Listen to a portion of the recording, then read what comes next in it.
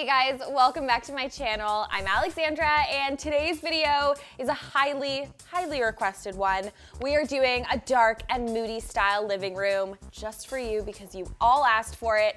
Make sure you hit that subscribe button down below so you don't miss any more makeovers like this one and let's get into it.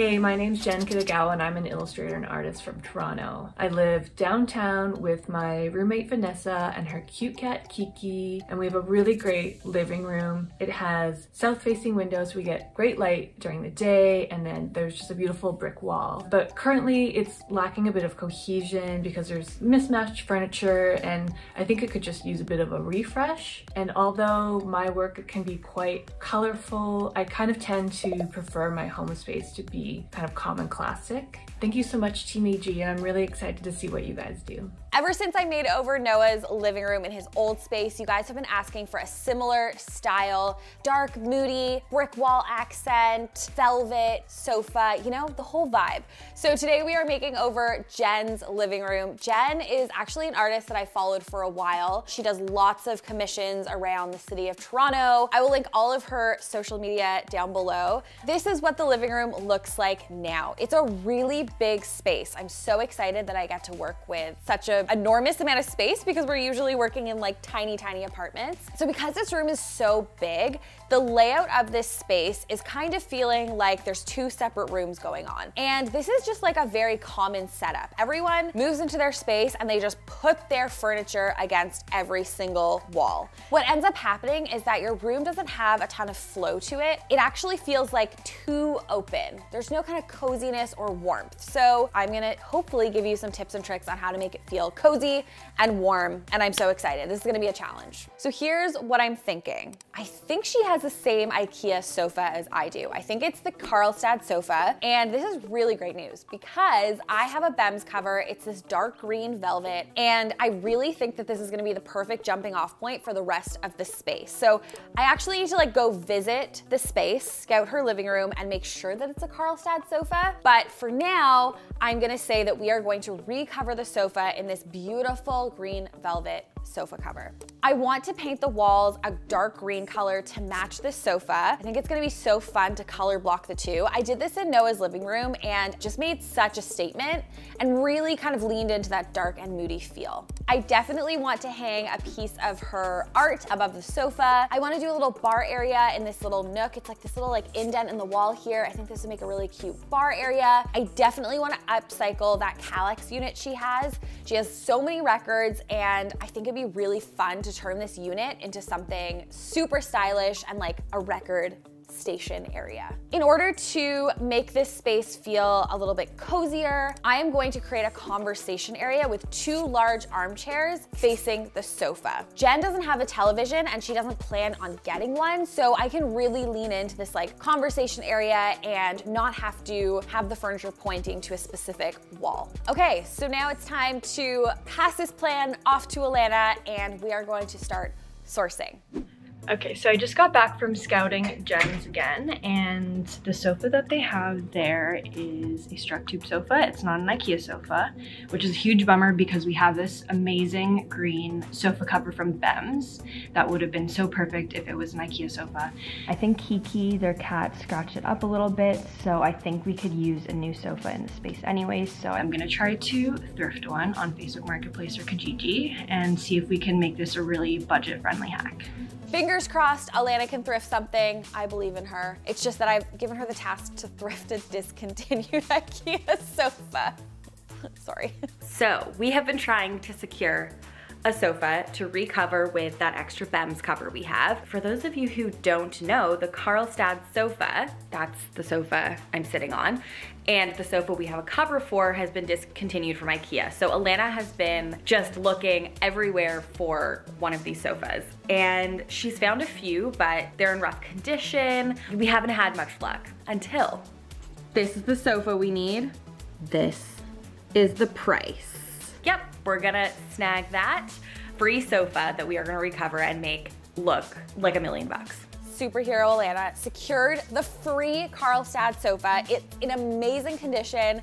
She is going to head there now, move it into Jenn's space. I can't wait to see it. So because we are filming multiple makeovers at once, you guys probably don't know that because you're just watching one makeover at a time, but we usually have like three makeovers on the go. We have delegated Graham, we love Graham, to paint Jenn's space in preparation for our prep day. Graham sent me this photo of the walls and I was like, yes. The green is just so beautiful. It's dark and moody, but it also has this element of like brightness to it. Like it kind of like complements this brick wall while still sticking in that very dark and moody vibe. How many times am I gonna say dark and moody in one video? Dark and moody, dark and moody, dark, moody, very dark, very moody, dark and moody space, dark and moody feel, dark and moody vibe, dark and moody today.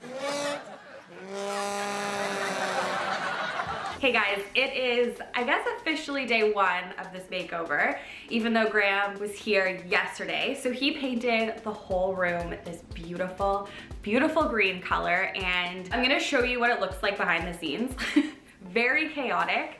There's stuff everywhere. So I think we're just gonna start by like unpacking things, organizing things. Graham's gonna work on touching up the paint.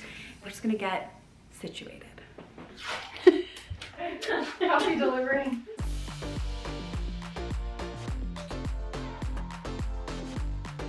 We all have Jenn's art pieces blown up and framed by Posterjack, and we're gonna unbox it now. Oh my gosh, it's gonna look so good. Okay, we are starting with an IKEA Kallax hack DIY. We're gonna keep this as record storage, but we are going to just jazz it up a little bit, elevate it. So Alana and I are just gonna take out all the records. It's gonna be an undertaking. Stack them to the side, and then we can just start working on this unit. Jenn had this existing Kallax unit, as I mentioned, and this is a perfectly great piece. We are just going to give it a little extra style, dress it up a little bit. So the first thing we're doing is adding a butcher block top. We found this at the hardware store. It was actually on sale. This is supposed to be an island top. We just cut it down to size and suddenly you have this beautiful custom herringboned wood top for your Kallax. Beauty. It already looks 10 times better. We haven't even added the legs. So Graham has cut it so there's a bit of an overhang here and at the back as well.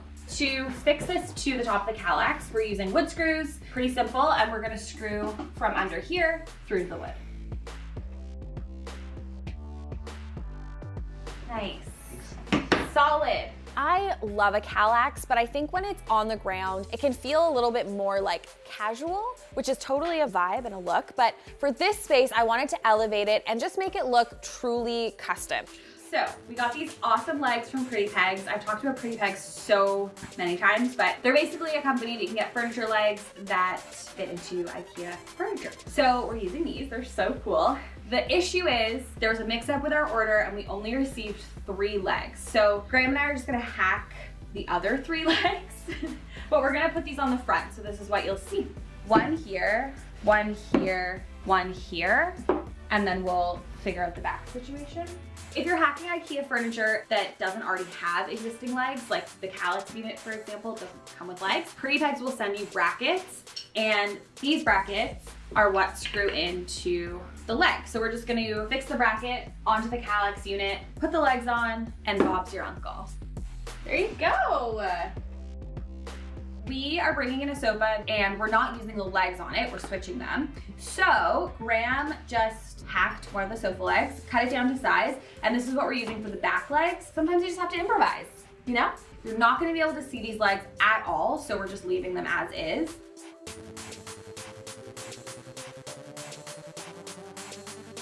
Very chaotic in here, so I'm not gonna show you what this looks like now. But tomorrow, when we style it, you'll get to see the full piece. What a 180. 180? 360. what a 360. It's DIY day, clearly, because we are now DIYing some cool record holders. I've wanted to do record holders since we made over Carla's apartment, but today's finally the day. So this is the inspo photo I'm using. I love the idea of having like 10 records on display. It creates this cool gallery wall of records and you can put your newest purchases, your favorites, what you're listening to. I just think it's like a fun way to jazz up this brick wall.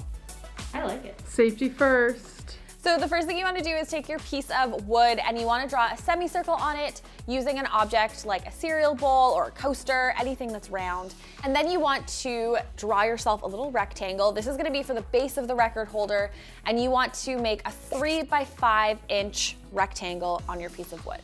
Also make a mark for a three quarter inch piece and this is going to be the front of your record holder. Cut out all the pieces using a jigsaw. We did this inside.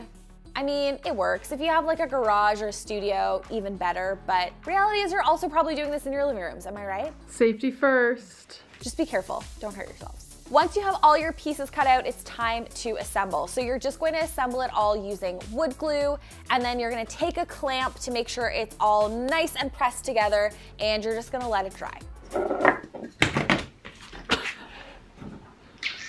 For an extra decorative touch, we're adding some dowels to the front. So I'm just cutting these dowels down using a handsaw and then wood gluing these to the front. Once the dowels are secured, you wanna give the whole piece a really good sand. And this is just your chance to make sure all your curves are like perfectly curved.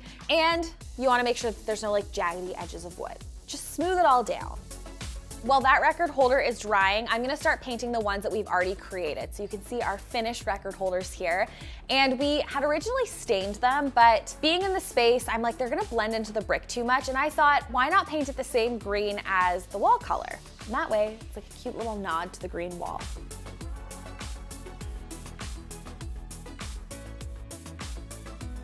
Okay, so we just finished the record holder DIY. This room is still so chaotic. I'm gonna show you guys what it looks like. The chaos. Oh, we still need to unbox these chairs. This is our record player stand. Oh my gosh, you guys look at this room. This is what makeover days usually look like.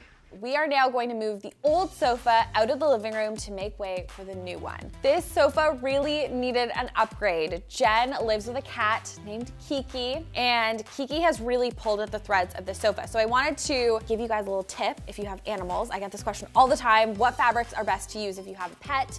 Now, you'll see that with Jenn's old sofa, the weave of this sofa is a loose weave. So Kiki was able to like dig her claws in and pull the threads out of the sofa. With this BEM sofa cover, because it's velvet, it has a tighter weave, which means that there's not a ton of threads for a cat to pull out. It really depends on the kind of velvet you're using, but I have a BEM sofa cover. It's the exact same one as this one, just in a different color. And Lottie does scratch at it sometimes, but you really don't notice because there's not a ton of threads to pull out. So just a little tip if you have an animal that likes to scratch. We are adding brand new legs to this sofa. I'm so excited. These are from Pretty Pegs as well, so the same company that we used on the Kallax unit. We are also just putting the new velvet cover on, and the sofa was actually in amazing condition. Great thing about most IKEA sofas is that you can take the covers off just like we're doing, and that's why we are adding a new custom cover. This cover was made just for a Karlstad sofa, which is why we had to thrift one and find the exact model that fit this cover. Normally you'd work the other way. You'd have the sofa and then reupholster it. But looks like a $3,000 sofa that we thrifted. The last thing we're doing today is changing out the ceiling fan. In some spaces, just like Jenn's, a ceiling fan is non-negotiable. This living room gets really hot in the summer. Ceiling fans are one of those things that you might not think can be cute, but leave it to Team AG to find the cutest ceiling fan on the market. This one is from Home Depot, really affordable. I'll link it down below. And what a flippin' game changer. Can I say flippin'? Why would you people say flippin'? I don't know. Ooh. It's Lux.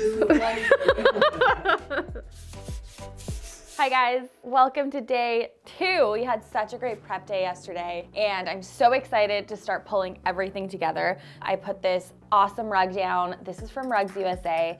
I always talk about Rugs USA because you can get a really large size rug like this for not a lot of money. This has these diamond shapes on it. It's jute, but also has this charcoal gray, adding to the dark and moody vibes. So excited. Okay, so next I'm gonna bring in the sofa that we recovered yesterday. You are not gonna believe what this sofa looks like now. tip for matching your sofa cover to your wall color. It's handy to start with the sofa cover and then work your way from there. So have the sofa cover in your hand and then just browse online. Like go to a paint website or you can use a paint deck. Browse through their colors and just find one that looks like it matches. Do a lot of test swatches, ask friends, but narrowing it down, I think, to like two or three solid colors you think will match is a good start. I actually can't believe that we took this secondhand sofa and turned it into this. Whoa. Okay, this gorgeous light is from Article. I'm just putting on the shade. And this light is just gonna like swoop beside the sofa, fill the room. Wow, she's a beaut. Okay, let's plug her in. Ah, it's so beautiful. I love a swoopy light. I don't actually use these a lot because we're usually working in smaller rooms. This light is such a beaut in this corner, like with the green wall, the sofa. I honestly think we could just like leave right now. Bye. It's time to put the armchairs down. You guys, these armchairs, I, I just can't. It's the same line as the sofa we have at the studio from Article. I'm sitting on it now. This color is so beautiful. It's like a gold, yellow, and it's gonna look so good against the green velvet. I can't handle this chair. I can't handle the sofa, I can't handle this chair, I can't handle this light. It's like only like nine in the morning and I'm like, I can't handle anything. So in order to figure out where we're gonna place these, I used SmartDraw, one of my favorite platforms to create floor plans. So I knew that I wanted to change the sofa from being against the brick wall to the other side of the room. And then I'm bringing in the armchairs, making sure I've resized them in SmartDraw to their actual size. And you guys can see here how I'm really trying to create this like conversation area. So you have the two chairs facing the sofa and then the record player behind the chairs. So there's still lots of room to get between the chairs to get to the record player, but it kind of like closes up the room in the best way. Like it makes it warm and cozy and inviting instead of like huge and airy and like hello, like echoing. Hello, hello, hello, hello. I would highly recommend using a floor plan to experiment or simply just like starting to move furniture around in your space and try to challenge yourself to not put everything against the walls. Whoa. just whoa, just whoa. I don't think we've ever really done a, like a conversation area in a living room before. It just really works. It transforms this entire space. The use of it, the look of it, I love it. Next, I'm placing the Kallax and I'm adding a couple baskets just so Jenn can put any stuff that she doesn't want to be seen in these baskets. Storage for records, storage for books and notebooks, all the things.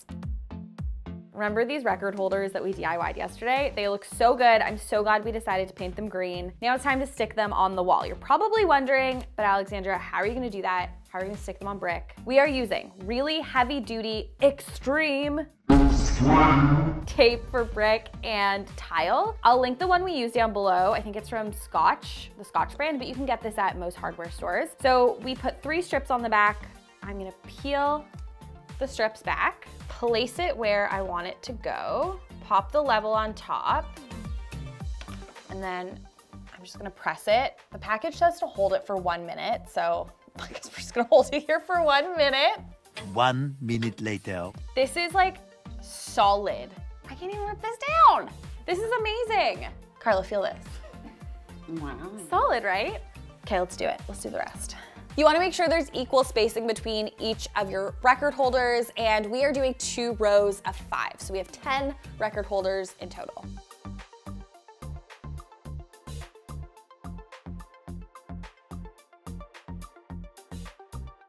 Guys, this looks so good. It's like we're in a record store right now. I cannot. If any of you guys at home have record players and lots of records, do this DIY. So simple, but like so beautiful. This coffee table was a HomeSense find. You have the dark tones, but it's really interesting. It's not too big. I love this piece a lot. This side table is from Bed Bath & Beyond. It has the wood top, the metal accents, really kind of playing on the materials we used on the Kallax unit. She's got curves. So whenever you have an empty corner, like a little indented wall like this, I think this used to be a door of some sort, put a bar cart there. I feel like bar carts are decorative and in a living space like this where there's a conversation area, it's just nice to have like a cute bar set up, you know? And then I'm gonna put a picture on top of it. I don't know if anyone remembers the sassy little lady, but I have a larger version of this in James's Nook at the studio. I just think she's so cool. So we got these from the thrift store, $3 for two. They have black stems, you guys. So good. Next up, I'm adding some curtains on these windows, a long curtain that drapes that adds like sophistication and style. It just like ups the ante of your space. It makes it look super sleek, super stylish, and very like luxe, as Amanda would say. Very like rich. I decided not to hang curtains on the small window. I wanted to let as much light in as possible, and I think it would have looked kind of weird because the windows are at different heights. You don't have to put curtains on every single window in your home, hot tip, and I think it's gonna look really nice just uncovered. This gold ornate mirror was in another room in Jenn's apartment, but I literally just like stole it off the wall, put it in the living room because there's no other option. It belongs in this living room.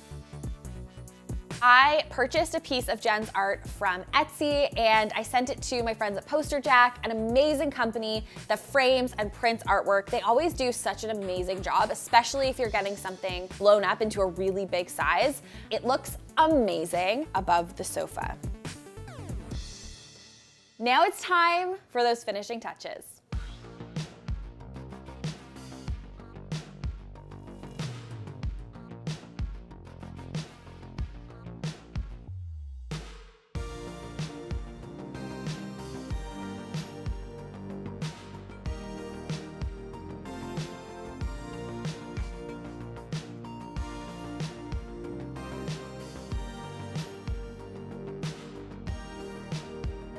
Time to bring in Jenn and reveal the space to her. I'm so excited. I can't wait to see her reaction. Okay, Jenn, I want you to picture what your space looked like before. Can you walk me through it? It was kind of a mix of different furniture, Yeah. um, and it was kind of in need of like a refresher. Yes. Yeah. Okay, are you ready? On the count of three, open your eyes. One, two, three. Whoa.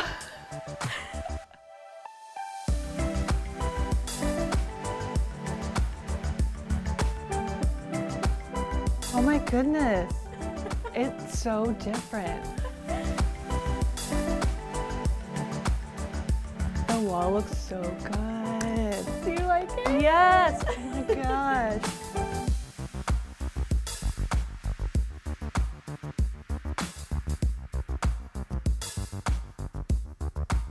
Couldn't forget Kiki, so we Oh gave her a little bed. So cute. I can't wait to see her in it. Is this an upcycle? yeah, that's actually your original cabinet. Yeah.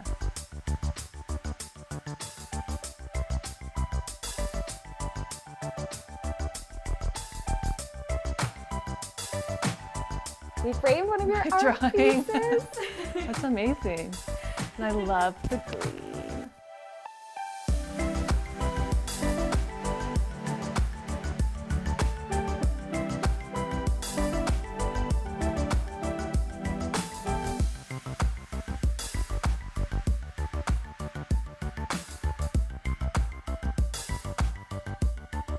So glad you like it. I'm so excited. to have Responsible amount of friends.